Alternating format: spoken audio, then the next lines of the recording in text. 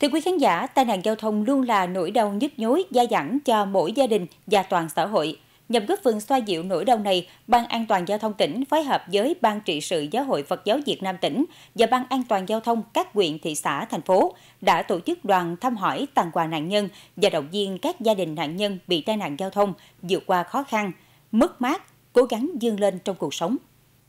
Tại các gia đình, ông Nguyễn Quy Dũng, Giám đốc Sở Giao thông Vận tải, Phó Ban An toàn Giao thông tỉnh cùng các thành viên trong đoàn đã chia sẻ những khó khăn mất mát, đồng thời động viên các gia đình cố gắng vượt qua những biến cố bất ngờ xảy ra. Bà Lưu Thị Tâm, ấp Vĩnh Hiệp, xã Vĩnh Mỹ A, huyện Hòa Bình, vẫn chưa khỏi bàng hoàng và lo lắng khi nhận tin cháu nội của bà là anh Phan Trường Lâm bị tai nạn giao thông trong lúc đang chạy xe đi giao hàng. Vào thời điểm giữa tháng 7, anh Phan Trường Lâm đang lưu thông trên tuyến đường Dòng Nhãn Gò Cát, đoạn thuộc ấp Dòng Nhãn, xã Hiệp Thành, thành phố Bạc Liêu, thì cây xanh bất ngờ gãy đổ đè lên người, làm bị thương nặng và lâm vào tình trạng rất nguy kịch. Một phần não bị ảnh hưởng nghiêm trọng và phải đi nuôi não.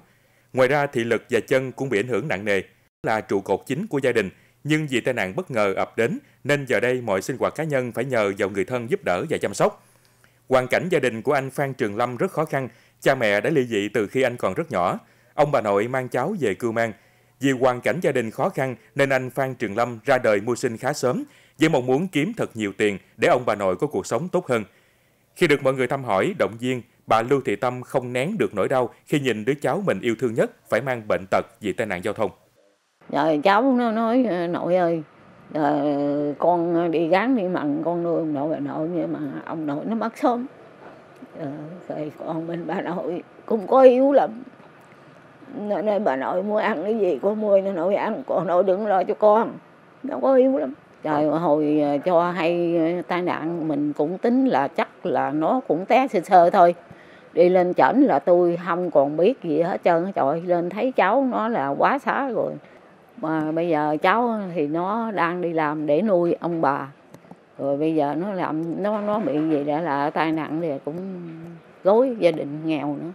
Khổ sở lắm Đoàn cũng đã đến thăm hỏi, động viên và tặng quà cho anh Mai Giang Hảo, ấp 16, xã Vĩnh Hậu A, huyện Hòa Bình, nạn nhân của tai nạn giao thông. Anh Mai Giang Hảo chia sẻ, trong khi đang lưu thông trên đường, vì tránh xe chạy lấn làn đường mà bị té ngã. May mắn là cú ngã xe không cướp đi sinh mạng, nhưng anh bị chấn thương nặng dùng đầu, phải nuôi não 3 tháng. Hiện nay sức khỏe của anh Mai Giang Hảo dù đã ổn định nhưng khả năng lao động thì không còn như trước. Gánh nặng kinh tế lại đè trên đôi vai của người vợ.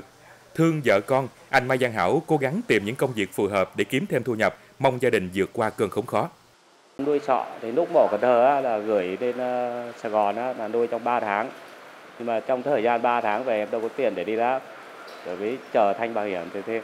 Nên nó trễ hết tháng mấy nữa rồi lên ráp rồi lúc đó về ráp rồi phải gửi về hết ừ, đóng chi phí tiền xe với tiền đuôi sọ là gây hết triệu mấy nữa dạ thì bây giờ có hai vợ chồng thì uh, cha có cho được mấy công đất á. Bây giờ thả cá với thả cua rồi với, với lấy lấy nước ra vô tôm rang vậy đó thì lâu lâu có con cá hay con cua thiên nhiên bán này rồi vợ đi làm tôm đi đi uh, đi làm tôm siêu hông á. Ăn sản phẩm đấy.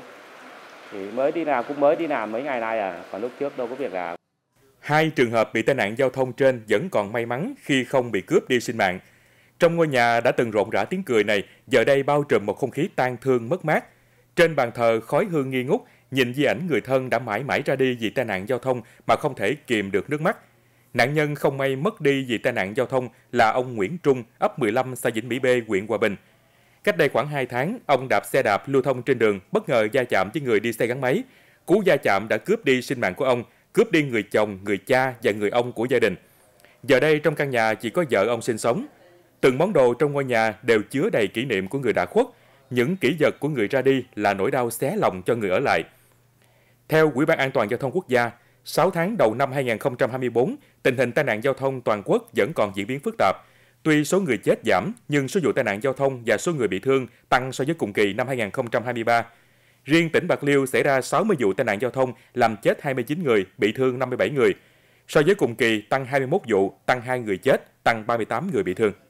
Chia sẻ, động viên đối với bản thân các cái nạn nhân bị tai nạn giao thông ờ, cũng như gia đình ờ, do cái rủi ro mà bị tai nạn giao thông và dẫn đến là cái cuộc sống bị khó khăn ờ, qua đó để chia sẻ những cái mất mát, đau thương, những cái thiệt thòi về tinh thần cũng như sức khỏe của nạn nhân, rồi những cái khó khăn của gia đình.